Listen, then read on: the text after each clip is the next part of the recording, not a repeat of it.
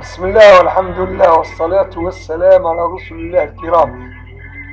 السلام عليكم السلام عليكم ورحمة الله وبركاته منه ورضوان أما بعد نسأل الله التوفيق في مسحنا هذا.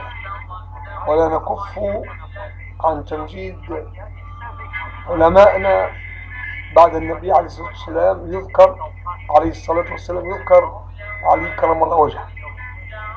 ورب سبحانه وتعالى جعل النبي عليه الصلاة والسلام له من الشباب الأول هو علي الذي آمن به. ثم خلفه على أهل المدينة حين خرج نبينا عليه الصلاة والسلام لغزوة تبوك. فقال له علي كرم الله وجهه أتخلفني على النساء والصبيان؟ فأجابه النبي عليه الصلاة والسلام بكل رحمة وأدب وحكمة. أما ترضى أن تكون مني كما كان بيني بين موسى وهارون لكن لا نبي بعد. يعني أنت أعطيتك المقام ذا بالنسبة لي وذكرت لك أخوين كريمين فأنا وحققت الأخوة والخلافة. لكن الذي يفرق بين المنزلتين منزلة هارون مع أخي موسى عليه السلام ومنزلة النبي عليه الصلاة والسلام عليه الصلاة والسلام مع قاضي قضاة الإسلام بعد النبي عليه الصلاة والسلام. هي أن لا نبي بعد رسول الله عليه الصلاة والسلام. لأنه موسى عليه السلام خلفه وخلفه خلفه كثير من الأنبياء. ونعرف تعج يعج تاريخ بني إسرائيل بالأنبياء لكن والعياذ بالله قوم بهم قوم أدنى مستوى من الأنعام لم يفلح فيهم هذا العدد الوافر أنا بالفعل نبينا عليه الصلاة والسلام عليه الصلاة والسلام دعا لمن ناصر عليه دعا بالمجد والخلود في الذكر الحسن. ودعا على من عاداه أي كل إنسان يبغض سيدنا علي كرم الله وجهه فهو ليس منا. سواء كان قال شيعة أو سنة لا يهمنا يقول النبي عليه الصلاة والسلام فيما أعلم مخاطبا علي كرم الله وجهه هلك فيك اثنان كلاهما يعني متطرف. أما محب تطرف بحبه أو مبغض وتطرف ببغضه بيد أن حكمة الإسلام تريد منا أن نكون أمة وسط.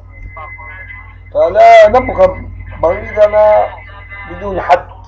بل نجعل له فرصة قد يعود من أصدق الموالين للإسلام. هذا الذي بينك وبينه عداوة كأنه ولي حميم. ولا تحب حبيبك حبا بدون حدود بل ترصد. وتوسع في الأمر لأنه قد ينقلب عليك عدوا يوما ما. وما قيل في علي كرم الله وجهه كثير لكن اليوم نكتفي ببعض أبيات منها ونائب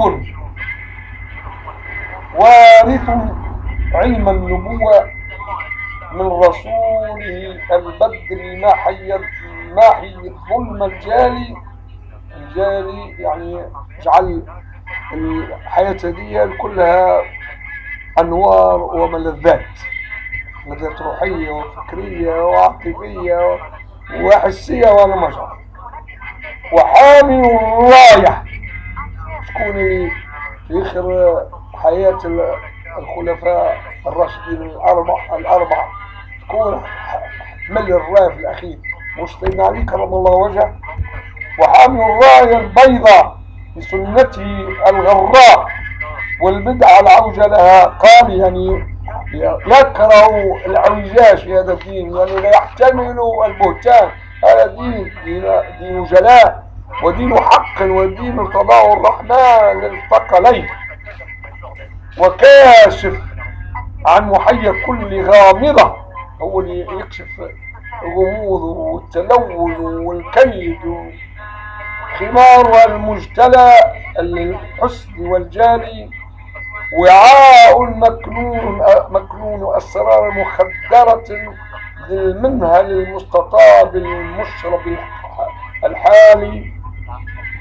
إن قيل من لا يكنه ولا يكنه قل أبو حسن عالي المعالي علي الضرم الضرم علي الكا الكالي حاز الثلاثة التي سعد الرضا.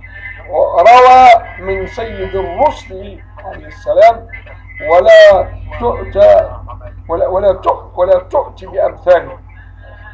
يكفيك في فضل ما صح مسنده فنسجه العالي لم ينسج بمنوال. سلام.